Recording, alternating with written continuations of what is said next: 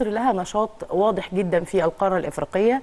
آه، مصر قامت في الفترة الماضية في الأسابيع الماضية تحديدا بعقد المصالحة السودانية السودانية أو عقد المصالحة بين أبناء جنوب السودان.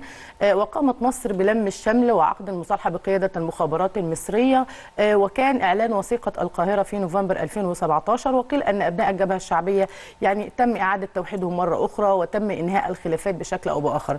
فأنا عايزة أقول لحضرتك إن كان متوقع طبعا أن توجه لمصر عدد من يعني الاستفزازات وعدد من آه، يعني جر الشكل كما يقال يعني أو نوع من أنواع المكايدة السياسية قد تحدث لمصر في القارة الإفريقية نتيجة للنشاط الزايد للسيد الرئيس وللدولة المصرية وإعادة ترتيب آه، أوراق الدولة المصرية مرة أخرى في إفريقيا. تمام يعني طبعاً. أ- أفهم من هذا. دكتورة هبة أنك تتوافقين مع وجهة النظر التي تقول صحيح. بأن هذه الزيارة موجهة لمصر صحيح هي قولا واحدا وقاطعا هي ردا على قيام مصر بعقد المصالحة في منطقة الجنوب أو في دولة جنوب السودان، مصر م. تبنت المصالحة الجنوب السودانية بين أبناء الجبهه جبهة الحركة الشعبية أو الحركة الشعبية لتحرير السودان. آه، آه، انفصلت انفصل أبناء الحركة قاعدة رياك مشار وقاعدة سلفا كير آه، رئيس السودان.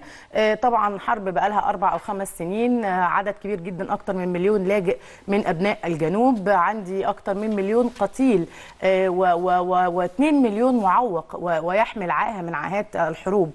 فأبناء جنوب السودان تم يعني شحنهم بطريقة كانت شمال السودان ونظام البشير ضالع في هذه الحرب بشكل أو بآخر. خلينا بس ناخد معطيات الصورة بشكلها الكامل.